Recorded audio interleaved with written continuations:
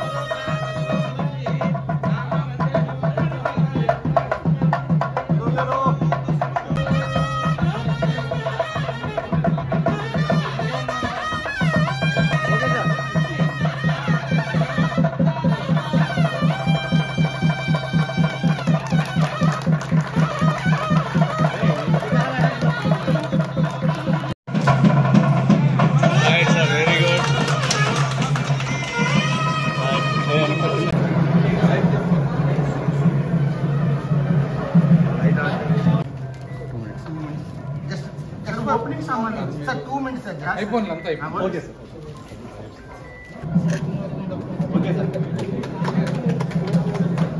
అయ్యి సార్. అయ్యి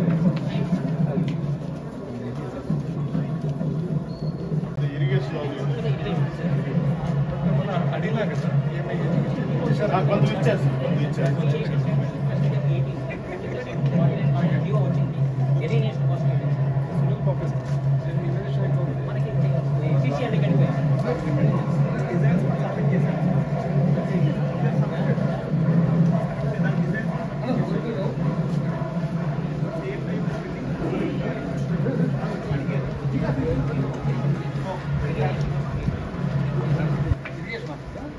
irrigation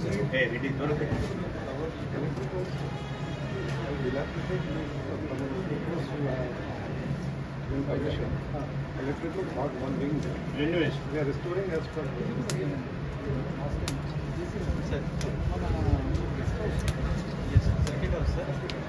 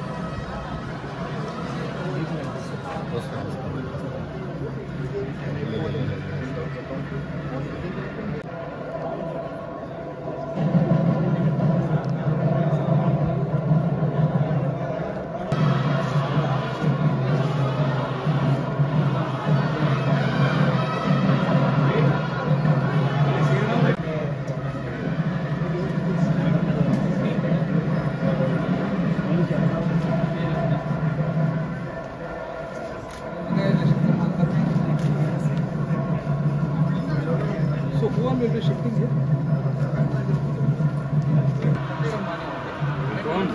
Well,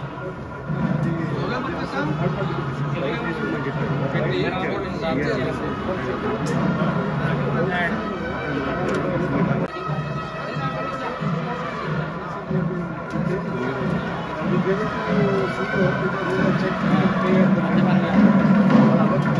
Go, go, go, go.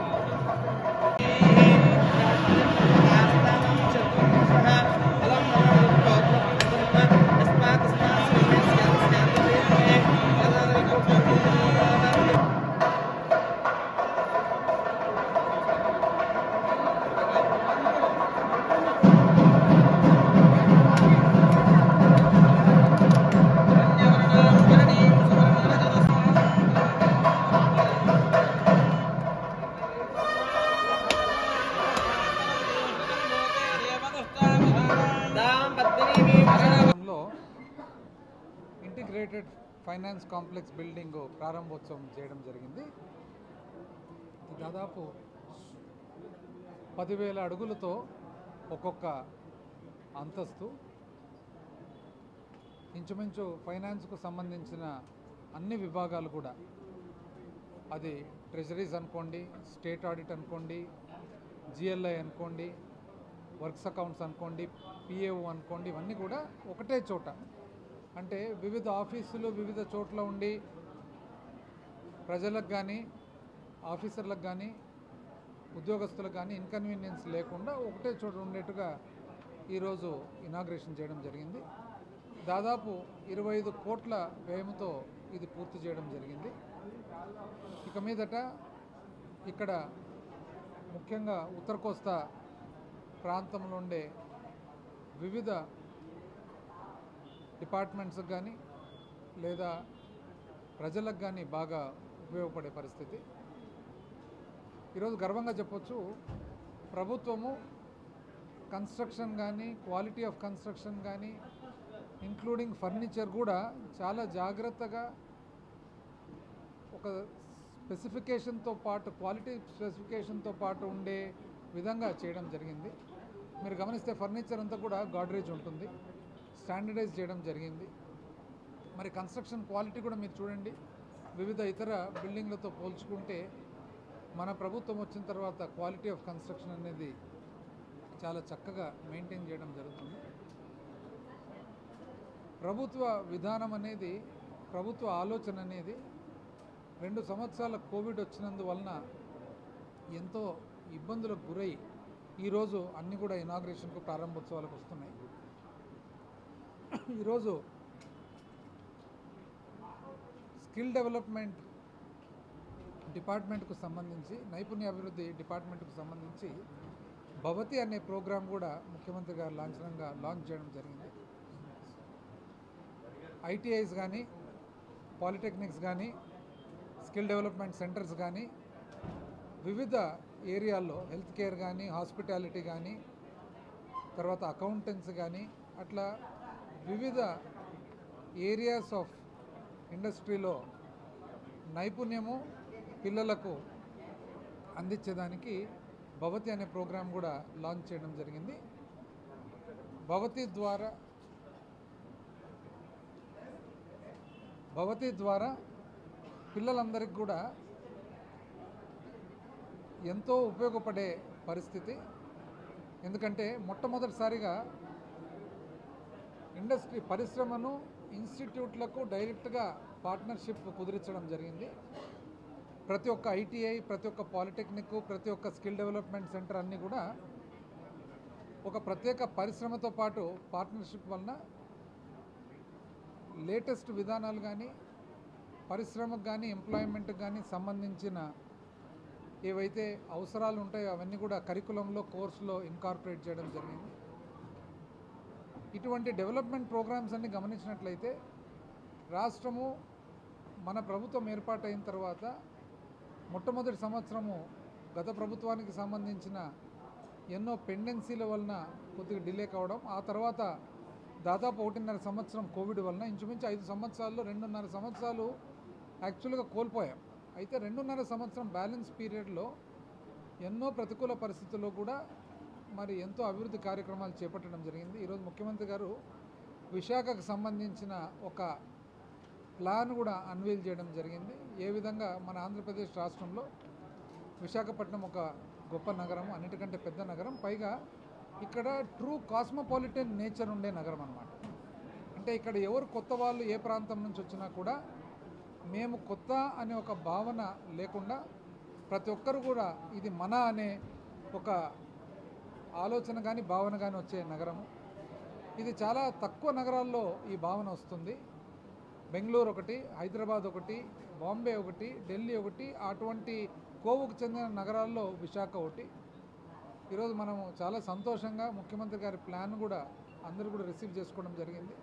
రాబోయే కాలంలో మరి విశాఖపట్నం ఆంధ్రప్రదేశ్ రాష్ట్రానికి ఒక గొప్ప నగరంగా అట్ ద సేమ్ టైం రాబోయే కాలంలో వివిధ పరిపాలనకు సంబంధించిన అన్ని రకాల అవసరాలు కూడా నగరంలో ఇక్కడనే ఏర్పాటు చేయడం జరుగుతుంది కాబట్టి ఇన్ఫ్రాస్ట్రక్చర్ అంతా కూడా చాలా చక్కగా డెవలప్ చేసుకొని మనకు ఆంధ్రప్రదేశ్ రాష్ట్రానికి ఒక ఖచ్చితమైన ఒక గొప్ప నగరం ఉంది మనకు.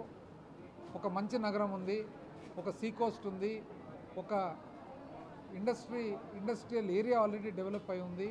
మరి భారతదేశంలో ఆల్రెడీ భారతదేశం మ్యాప్లో ఒక మంచి స్థానము ఉన్న విశాఖపట్నం నగరాన్ని మనం అభివృద్ధి చేసుకోబోతున్నాం కాబట్టి ప్రజలందరూ కూడా తెలియజేయడం ఏమంటే రెండున్నర సంవత్సరంలోనే ఎన్నో అభివృద్ధి కార్యక్రమాలు శాశ్వతమైన అభివృద్ధి కార్యక్రమాలు చేసుకోవడం జరిగింది. ఒక మంచి చిత్తశుద్ధితో ఒక ప్లాన్తో పరిపాలన జరిగింది. ఎంతో ప్రతికూలమైన పరిస్థితులు కూడా జరిగింది. అందులో భాగంగా ఈరోజు ఇంటిగ్రేటెడ్ ఫైనాన్స్ కాంప్లెక్స్ కూడా ఇనాగ్రేట్ చేయడం జరిగింది చెప్పి తెలియజేస్తా ఉన్నాం. మరిన్ని వీడియోస్ కోసం ఛానల్ సబ్స్క్రైబ్ చేయండి. లేటెస్ట్ అప్డేట్స్ కోసం వాట్సాప్ ఛానల్ని ఫాలో చేయండి. అండ్ లింక్ డిస్క్రిప్షన్లో ఉంది.